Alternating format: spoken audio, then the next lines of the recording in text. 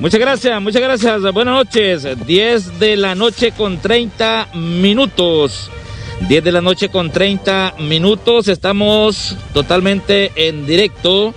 Muchas gracias, muchas gracias al compañero Alan Paul y también a la licenciada Mariel Arteaga. Andamos haciendo, Mariel, como de costumbre, este monitoreo de Tegucigalpa, de Comayagüela y sectores aledaños a la capital para mostrarle qué es lo que sucede en horas de la noche, cuál es el comportamiento de la población. Sabemos que estamos en el marco del el toque de queda. Pero antes, Mariel, mientras eh, le muestro las calles, también quiero aprovechar para informarle de algunos hechos que se han registrado en Tegucigalpa. En el sector Mariel, más temprano, en el Boulevard Fuerzas Armadas, ahí a la altura del barrio El Chorizo, ahí el puente de la Progreso, en este sector, ahí varias personas estaban manifestándose, estaban protestando por la falta de alimentos y una fémina lamentablemente fue impactada por un motociclista quien pues la hizo rodar sobre el pavimento. Ahí el motociclista también se arrastró sobre el pavimento y la señora pues en una situación bastante eh, difícil fue asistida por las mismas personas que estaban ahí haciendo acto de manifestación, acto de protesta y de inmediato pues solicitaron a otro conductor que iba por ese sector a bordo de un vehículo tipo pick-up, la subieron en peso, en brazos, a la paila de este vehículo y la movilizaron al hospital escuela donde se encuentra recibiendo asistencia médica.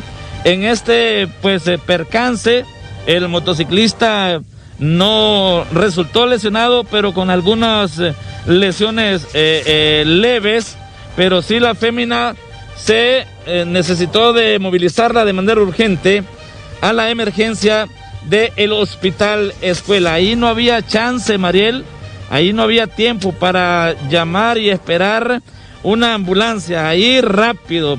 La protesta estaba, había quema de llantas en el lugar, luego que estaba este grupo de personas manifestándose por la falta de alimentos, pues mire usted lo que sucedió ahí fue pues bastante terrible porque en lo que el motociclista transitaba por este lugar, la señora pues fue impactada y la hizo pues eh, prácticamente rodar sobre el pavimento, una situación muy difícil lo que ocurrió ahí en el Boulevard Fuerzas Armadas a la altura de la colonia Progreso. Ahí, este puente que en la parte baja ahí se conoce como el barrio El Chorizo.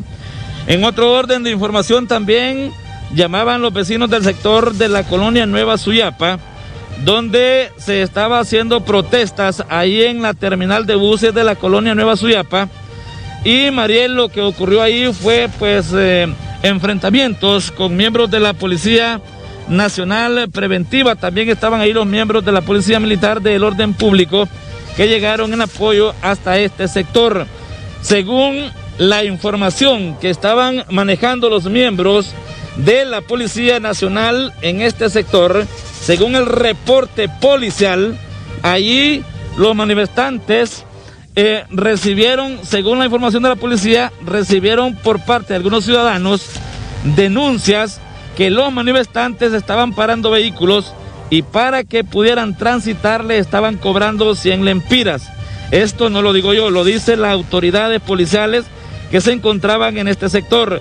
También reportó la policía que algunos ciudadanos llegaron y interpusieron denuncias que llevaban algunos productos de consumo del hogar, alimentos, y los manifestantes se los quitaban. Esto fue lo que dijo los miembros de la Policía Nacional, que por ese motivo llegaron hasta este sector y al pretender desalojarlos se dieron enfrentamientos. Esto en la mera terminal de la colonia Nueva Suyapa, aquí en Tegucigalpa. También los miembros de la institución policial mostraron que varias cámaras del 911 fueron atacadas, varios lentes de cámaras que son de vigilancia del Sistema Nacional de Emergencia 911 fueron atacadas a pedradas y destruyeron varias cámaras, solo dejaron uno de los lentes en este sector en una situación bastante lamentable. Se hizo uso de el lanzamiento de gas lacrimógeno en este lugar.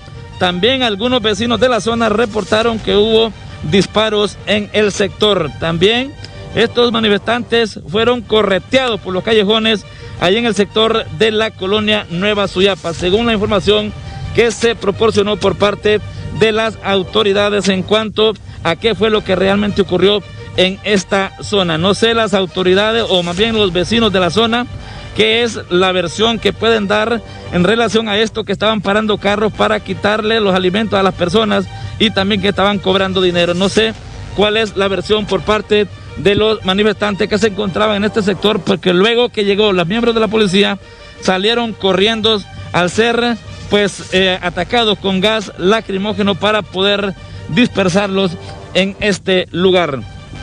Hacemos nosotros este completo monitoreo de Tegucigalpa. Aquí el Boulevard Morazán hay bloqueos, Mariela, hay retenes, pero fíjense que eh, ya mm, eh, podría decirle, Mariel, que hoy, hoy eh, es parecido al comportamiento de la población en calle, es parecido a un domingo, a un domingo normal.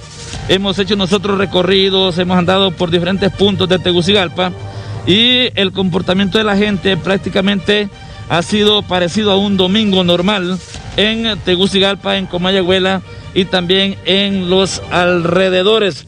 Esto pues eh, pese a que estamos en pleno toque de queda, al parecer que en las últimas horas ya no se está respetando mucho y esto pues las autoridades tendrán que dar algún tipo de información en relación porque esto es bastante delicado si se llega de generar esta mm, propagación del coronavirus en la capital de la República, en el país, en Honduras. Ahorita hacemos este recorrido, andamos aquí por la zona de las Minitas, en la capital de la República. Vamos a tratar de acelerar un poco el paso con mi compañero Carlos Fernández y también el encargado del material gráfico, Carlos Soriano.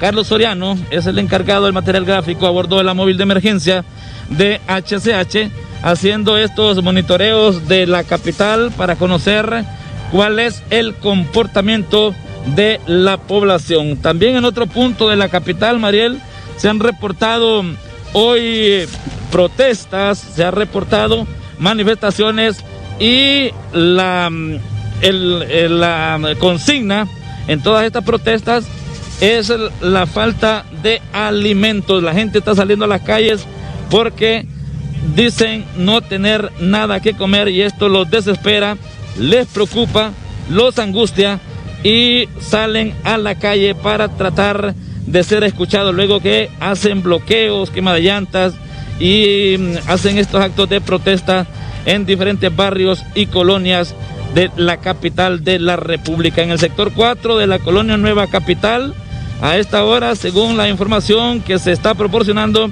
hay manifestación por parte de los vecinos que están solicitando alimentos a las autoridades correspondientes. Nosotros estamos completamente en directo y a bordo de la móvil de emergencia de HCH. Continuamos con este recorrido en Tegucigalpa con Mayagüela y alrededores. Si no hay consultas, regreso con ustedes hasta el estudio principal. Muchísimas gracias a Carlos Raudales Maradiaga y tenemos habilitada, mira, si lucen las calles de Tegucigalpa.